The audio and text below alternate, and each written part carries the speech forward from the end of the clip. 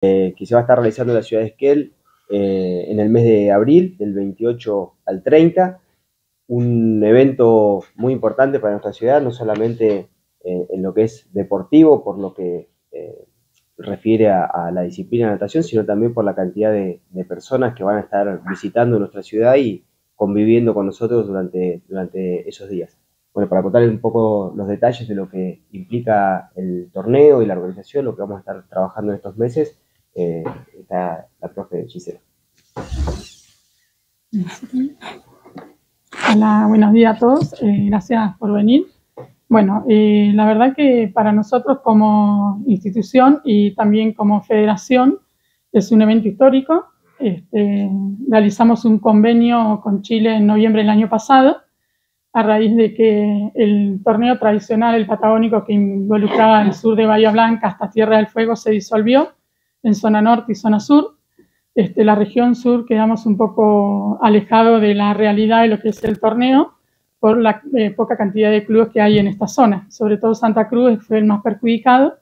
Entonces, desde las federaciones nos juntamos para poder este, armar un convenio con el país vecino que venía, digamos, participando de algunos eventos en Argentina. Entonces, este, este convenio lo que hizo es formar este patagónico binacional.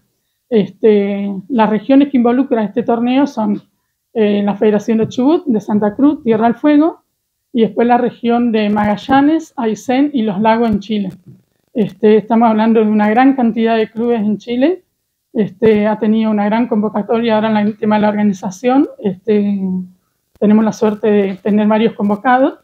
Y principalmente lo que nos importa, más allá también de, la fiesta del deporte que vamos a tener en esta disciplina que es natación, eh, la atracción turística de, por parte del país vecino en elegir a Esquel como sede, que para nosotros es muy importante eso significa que nos tienen presente como ciudad y también como eh, federación, que es el lugar que me toca, este, poder representar a Chubut en, este, en, digamos, mi ciudad también es gratificante. Así que en realidad este torneo arrancaría el día 28, pero el día 27 de abril estarían llegando las delegaciones este, a la reunión de delegados, eh, hospedándose en diferentes partes de Esquel, que estamos gestionando con Mariano, que vamos bien, por cierto, y eso nos ayuda y nos da un poco de tranquilidad.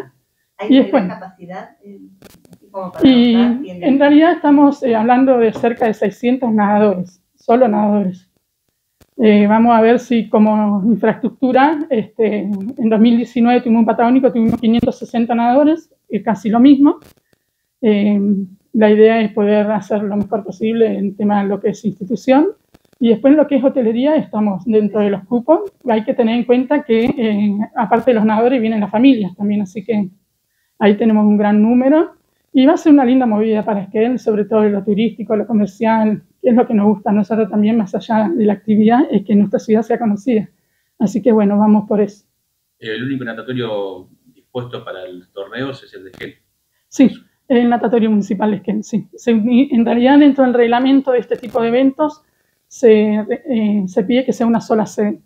En su momento pensamos en la posibilidad de organizarlo con Trevelin, pero el reglamento no nos lo permite porque todas las delegaciones no pueden estar alojadas menos de, 10, de más de 10 kilómetros del lugar del evento. Así, que seguramente van a empezar bien temprano las competencias. Sí, eh, las, competencias son cinco jornadas. Arrancan el viernes por la mañana, a las 8 de la mañana, el primer turno de Ablande, y terminan a la tarde, eh, seguramente cerca de las 20 horas.